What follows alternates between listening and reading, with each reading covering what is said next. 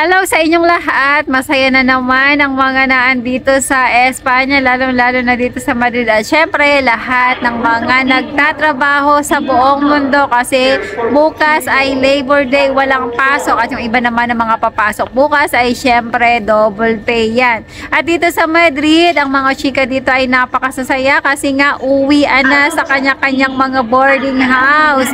At ang masaya pa, dalawang araw kaming walang pasok dahil nga ang May 2 ay Madrid Day. Pero may iba tayong mga kababayan na naka, ang, bahay ng kanilang mga amo ay outside Madrid.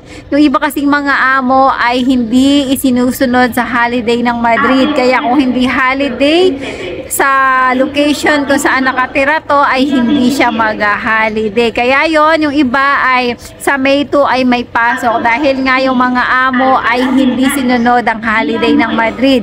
Pero kadalasan ang mga amo dito kahit nakatira sa outside Madrid ang sinusunod nila ay kung ano ang holiday ng Madrid kasi nga ang Madrid ay maraming holiday kaya masaya. At yung iba namang mga amo dahil nga sandwich siya, uh, walang pasok ng Merkules at Huwebes, then Biyernes at Sabado ay may pasok. Yung ibang mga amo, inoopera nila ang kanilang mga chika kung gusto ay mag-holiday na din. Kaya lang syempre, ibabawas ito sa holiday na 30 days. Di ba nga, meron ditong holiday with pay. Ngayon, ibabawas ka doon, mababawasan. Katulad ng nangyari sa akin. Sinabi ng amo ko na kung gusto mo, kunin mo na yung Biyernes at Sabado. Sabi niya, ah, okay. Kasi nga, yun nga, may plano kaming gumala ni Jowa. Kaya sakto sakto. Wala akong pasok mula Miyerkules hanggang Linggo.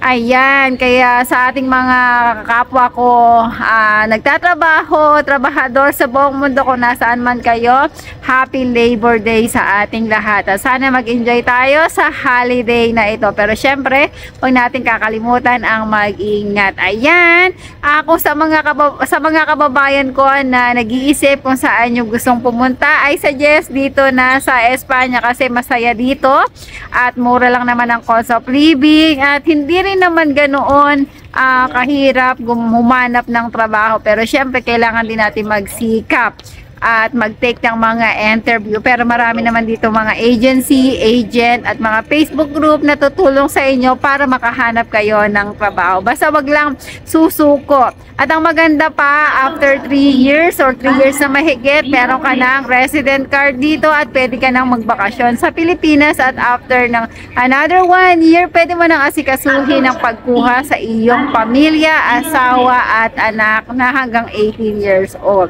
Ayan, sana may natutunan kayo sa video ito at kung hindi ka pa nakaka-subscribe sa akin YouTube channel, i-click mo na ang subscribe button at para ma-notify ka na may bago akong upload, i-click mo na ang bell button. Maraming salamat!